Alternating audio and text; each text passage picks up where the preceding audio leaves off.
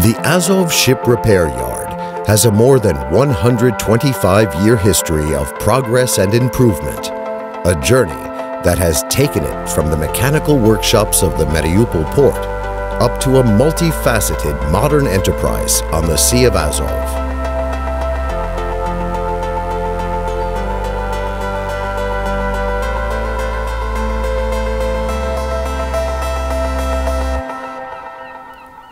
The enterprise's diversity and availability of production capacities allows for the carrying out of the full range of ship repairs and dock work, the turning out of various engineering products, the use of modern lifting equipment, and the provision of cargo transshipment services. The total number of personnel of the yard is in excess of 1,300 people. The yard's total water area is 110,000 square meters. The total length of its eight berths is more than one kilometer. The water depth allows for the handling of vessels with a draft of up to eight meters. Located here is the only all-metal floating dock on the Sea of Azov, and it has the capacity to dock vessels of 15,000 tons, allowing for a length of up to 200 meters and a beam of up to 28 meters.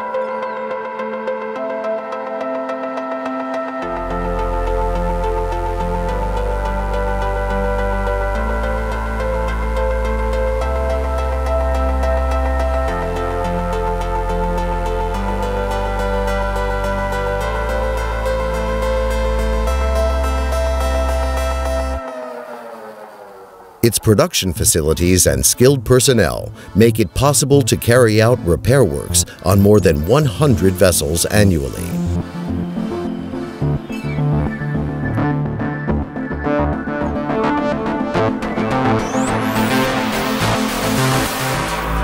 The massive array of equipment is also used for purposes of machine building functions for the yard. Nowadays, about 2,000 tons of steel structures are produced by the shipyard monthly for the building, metallurgical, mining, and engineering industries.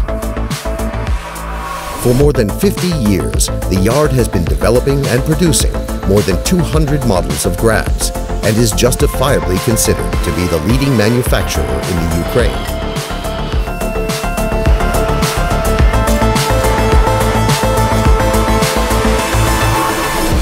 Yard's transshipment complex is equipped with 14 gantries with lifting capacities of 5 to 40 tons, as well as a floating crane, forklifts, and a well-developed transport infrastructure that, as a whole, provides for the transshipment of approximately 100,000 tons of various bulk and general cargoes monthly.